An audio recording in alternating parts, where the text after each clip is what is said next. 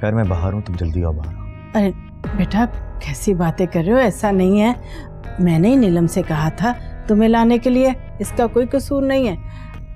अच्छा थोड़ी देर तो बैठ जाओ ना। खाना खा के जाना। नहीं आंटी।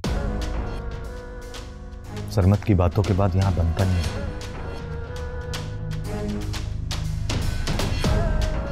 वो तो नीलम ने मुझे इतना फोर्स किया तो मैं आ गया। अब इजाज़त दीजिए। लेकिन या बस। मैं बाहर इंतज़ार कर खुदा हाफिज़।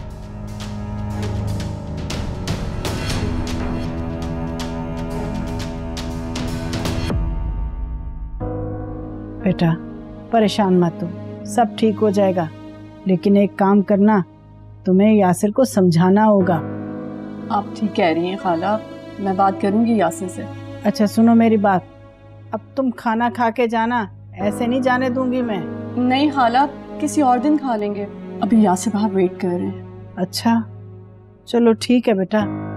पर फरहान की शादी में तुम्हें ज़रूर आना होगा और यासिर को भी साथ लेकर आना। अ, खाला आज जो हुआ इसके बाद तो मुश्किल ही है कि यासिर आए। अरे मैं कुछ नहीं जानती। बस मैं तो यही चाहती हूँ कि तुम किसी ना किसी तरह से इस घर में आती जाती रहो। अब तुम समझ रही हो ना मेरी बात? जी खाला मैं समझ रही हूँ। आंटी आप ज़रूर शादी में आइएगा वरना मैं नाराज़ हो जाऊँगी।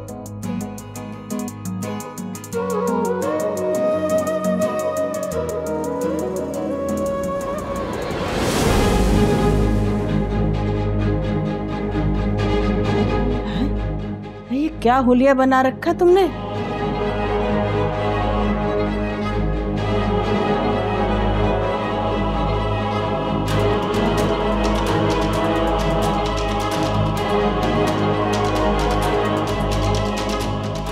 खाला। इस लड़की के तेवर और हरकतें तो बिल्कुल भी ठीक नहीं लग रही। आंटी इग्नोर करें। ये है ही ऐसे। अरे दफ़ा करो इसे। मुझे तो ये अच्छी नहीं लगती। जहर लगती है मुझे।